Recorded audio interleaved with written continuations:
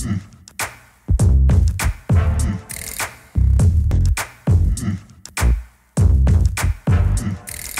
everyone, Joe here.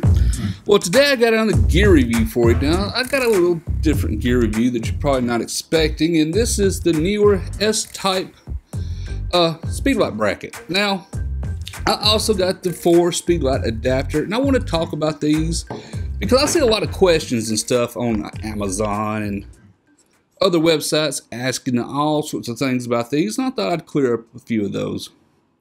Okay, well, let me first uh, explain this bracket a little bit and talk about it.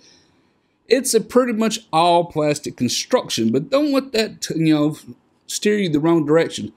This is a very, very strong, heavy duty plastic.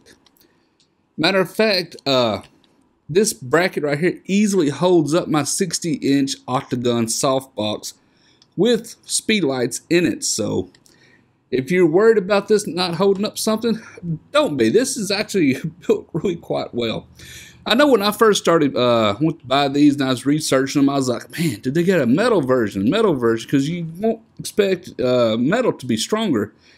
And I guess uh, if you had aluminum version or magnesium version of this, it would be pretty badass and everything, but they don't make them. So don't let that discourage you. This plastic one is actually very strong.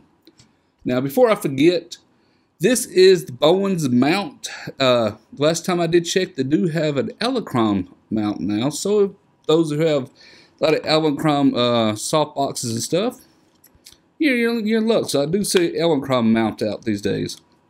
Now, like I said, it's all plastic. There is some nice rubber inside here. This part is kind of metal, but with a little rubber uh, on the outside of it. Soft rubber in here. Hold your speed light very, very well, and I'll set it up. Basically, what you do is you put your speed light in this way, and you kind of just snug it down. Be careful, don't tighten too much and damage your speed light, because it doesn't take much to hold a speed light in this thing, as I'll show you. Now, I'm going to sit over here on a little stand I st stuck up next to and I hope it shows up on the camera real well. Yeah, it does. Now, it mounts pretty good. Now, the inner part here that does go on the stand, let me not forget that, is aluminum so it goes on pretty good and it's built quite nice. Like I said, I easily hold a 60 inch octagon softbox of this thing.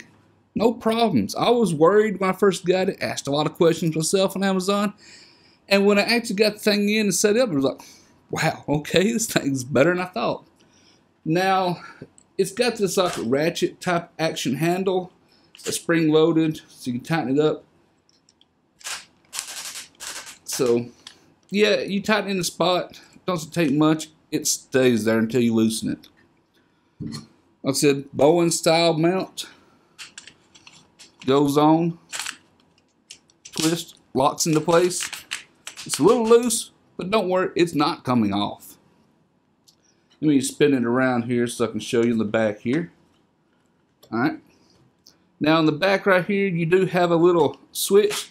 Pull it out, comes loose put it back on, no issues. Generally, you take your speed light, like I said, you slide it up in here. Let me open mine up just a little bit. Till you get your head in about where you want it. Just run it down, a little finger tight, not much at all. You don't want to damage your speed light. And boom, you're good to go. Works really, really well. Put your speed light in the center. Awesome. Okay. Now let's talk about the one more thing here before I forget, before I go into the uh, four speed light adapter. If you notice through here, this little hole, and through the back, there's a little screw. You can actually put a umbrella on this, which is really great because this, if you put an umbrella on this and want to shoot into it, it actually puts the uh, speed light, the head, closer to the center of the umbrella so you get a nice, more even light coming back. So that's also a plus. This is, you know, it's very good. Now, let's get over to that 4-speed light adapter and put this Bowens mount back on. Alright, now this, for anybody going to ask, this is a speed ring for use of my soft boxes. These little holes and stuff where the rods go for a big soft box. I didn't figure you wanted a soft box in end of it. I figured just showing you the mount would probably be the easiest way. So just in case there's any confusion there. Okay, let's talk about this 4 speed light adapter. Now this is a little accessory you can get with this to add four speed lights to this. So yeah, you can put your softbox on and with four speed lights you can you put all of them inside the softbox. Very, very nice when you need a lot of extra power because four speed lights, that's about roughly the equivalent, give and take, about 360 watt seconds of power. So that's very, very good. Now, you slide it in here like this, and it has, you know, different screws in here so you can adjust out, you know, depending on your softbox. Mine, pretty much I can go into the last screw hole. Then on the back here, I simply add the other screw to hold it and screw it in. Now, I like the little four-speed light adapter, but this really could be made a little bit better. It has a twist lock that doesn't always hold, and a lot of people complain when they buy this, the screw's either about to fall out or falls out right after they get it. And that's simply because there was nothing put on the tip of the screw to hold it like Loctite. So that's just something, it's not a bad design, it's just bad manufacturing of this design. If they would put Loctite on it, it would be no issues whatsoever. People wouldn't be worried about the uh, screws falling out. So if it does fall off you, you put a little super glue on it or just go buy Loctite at your local hardware store with a dab of it on screw, screw it in, you're done. My only real complaint is about this is the way it's actually made. And that is when you put it on, it could hold your speed lights a little better. Now you do want to also make sure when you put it on that your screws are not in your way here. Like my particular softbox, it's got the interchangeable ring. Yeah, those can bump it. Don't worry, put a in. You tighten this up. It doesn't have nothing really to hold it. It's just kind of a friction tight. Not really fun. You have to screw this and tight. If this would have been made with at least a little lock, you know, pin uh, hole on this thing, would have been a huge improvement. Because you have to tighten that up, then tighten your speed light down, and it's, it's going to stay. You don't have to worry about it coming off. Like I said, you can hold up to four on this thing. I normally just use two.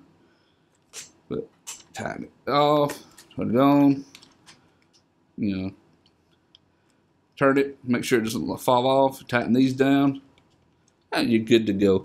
Pretty much two speed lights is most, you know, I really ever need. Actually, I don't even use that many in the studio at all. But it's nice to have. The only real issue is when you have four speed lights on this, is you can't open the battery doors. so you, go to open the battery and boom, it hits another speed light. So if you put, make sure you put fresh batteries in this if you're using four speed lights or have external battery packs. That's my only real issue with this thing. Other than that, I'd like to have had a locking pin on this. It would have been really nice. That way you know for sure that your speed lights are secured and not going to fall off. Okay. So, my, like I said, it holds quite well. I think the four speed light adapter is probably just a little overpriced now. Price obviously will be dropping eventually. So if somebody's thinking, man, this pretty cheap buy for four speed adapter in a year or two after I make this review, you know, give me a little break here. Prices do go down on stuff after stuff comes out, but I think I paid almost 10 extra dollars for this little bracket, which is, you know, yeah, I don't have to say much. It's kind of overpriced if you ask me. But the main bracket itself to hold the speed lights, I'm very pleased with. Uh, I think I paid about twelve dollars for that, maybe fifteen. Well worth it. Well worth it. If you're ever worried about uh, not being able to hold your uh, lighting modifiers and stuff, this is a good buy right here. But like I said, it's made of almost all plastic, a little bit of rubber. Very, very strong. Very happy with my purchase. Actually own about three of these. So if anybody's interested in purchasing these, of course, I will have my Amazon affiliate link down in the description below, just in case anybody wants to read up anybody else's reviews and stuff. But I hope I've answered a few questions about it. Like I said, it can hook up a Bowens mount to this one. They do have an Elinchrom also available now. And you can put your umbrella on in case you just want to shoot an umbrella. And uh, so it's very versatile, very handy. a little big, but hey, it's strong, it's durable. But anyway, that's my review of it. Uh, I hope it's uh, answered any questions anybody might have had about it. I use them. I like them. I use a lot of speed lights, so it fits my you know daily work schedule and stuff. But anyway, that's my review on the Neewer S-Type bracket. I will say that they're, uh, I'm not sure actually who makes them for Neewer. Uh, you see a lot of Godox, Saline, and other brands out there, all sporting the same exact one. So there's probably some company in China making them, but just find whatever is the best prices that you can get on them. I'll link the Neewer one since this was a Neewer one. And uh, anyway, I hope this review's been helpful. If you like this review, how about hitting a thumbs up? Thumbs up's always highly appreciated. If you're not a subscriber to my channel, be sure to subscribe. Subscribe is free. It's for you let you know when I release more videos. Until next time, everyone, thank you for watching.